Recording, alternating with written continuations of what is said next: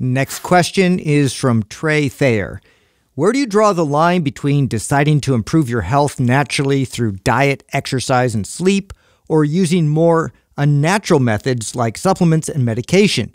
How do you strike a balance between these two methods? Oh, good question. Question. Okay, so here's a good rule of thumb. Okay, focus on diet, exercise, sleep, and lifestyle, and focus entirely on those. And if those are not great, don't don't waste your time with supplements and medication. Mm-hmm. Now there is a caveat. Okay, there is a caveat.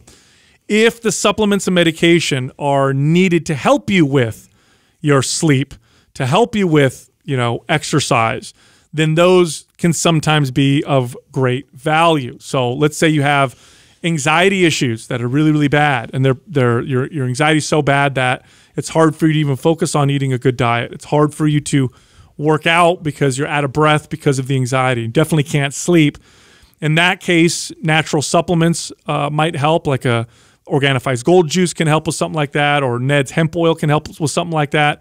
And they'll help you enough so that you can get the good sleep or good exercise. But the rule of thumb really is focus on the diet, exercise, sleep, and lifestyle first, because those are the things that cover 95% of everything anyway throwing supplements or medication on top of that, it's not going to do a whole lot. I mean, I, I, the truth is, and I think this is, and this is something that I feel like I've had to have this conversation more with somebody who maybe uh, has listened to us since the very beginning, and then they're they're still around right now, and we have all these different partners of things like Joovv and Felix Gray and you know Organifi and all the all these great these companies that we we have partnered with, but our messaging is still never changed. Um, I, ideally you you do not want to have to use any of that stuff, and that and that's what I think you, we should all be searching for. I mean, in, the, in a perfect world, um, I've got a great sleep routine. I don't need any assistance. I, I do a good job of you know turning my uh, electronics off at, at, an early enough time that I can my brain can settle down at night. I don't need any of these tools.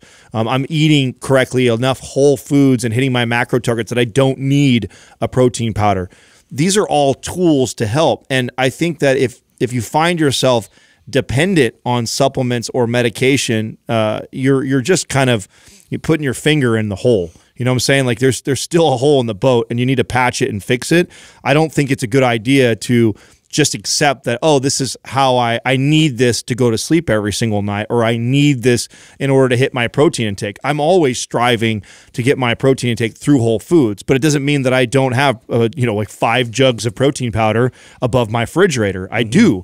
And I and but they last me quite a while because I use them intermittently. I use them as needed. I don't use them like, oh, this is just part of my routine. I have two protein shakes every day to make sure I hit my targets. No, my goal always is to make sure that, or try to make sure that I get my protein intake through whole foods. But the reality is, a, a lot of times it doesn't happen. Mm. And so when it doesn't, I, I, I, use these things. And the same thing goes for, like you mentioned, the Ned and the, and I mentioned Felix Gray and all these partners we work with and Joovv. Like, I mean, my goal is to get out in the sun for an hour to two hours every day and get it on my body. Like let let the natural sunlight give me all the benefits that it provides. Now, when it doesn't, I discipline myself to make sure I spend 20 minutes in front of my Joovv. Like so I, but what I don't do is go like, oh, I've got the Joovv light, so now I never need the sun. Yeah, right. Like that's not. I don't think that's the right no. uh, mindset. These are inter interventions. These are things that I would hope like are used as a catalyst to then promote more healthier behaviors right. and, and, really seek those out. And I